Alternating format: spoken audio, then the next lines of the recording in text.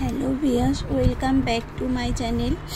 আজ চলে এসেছি দারুণ একটি জলখাবারের রেসিপি নিয়ে, গোলা রুটি। খুব সামান্য সময়ে মাখা, বেলা, ঝামেলা ছাড়াই নরম তুলতুলে এই গোলা রুটি বাচ্চা থেকে বড় সবাইকে খুশি করবে।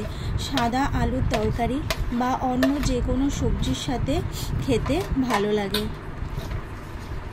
আসুন তাহলে দেখে নেওয়া যাক আজকের গোলা রুটি। আর হ্যাঁ বন্ধুরা, আমার আমার খুব ঠান্ডা লেগেছে। গলারটায় ব্যথা ঠিকভাবে কথা বলতে পারছি না। আপনারা মানিয়ে নেবেন।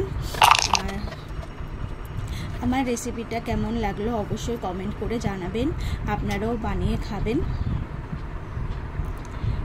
খুবই কম সময়ে রেসিপিটা তৈরি হয়ে যায়। আর আমার চ্যানেলের নতুন বন্ধু হলে চ্যানেলটিকে সাবস্ক্রাইব করার অনুরোধ রইল। দেখতে থাকুন আমার রেসিপিটা ভালো লাগলে অবশ্যই কমেন্ট করবেন বন্ধুরা।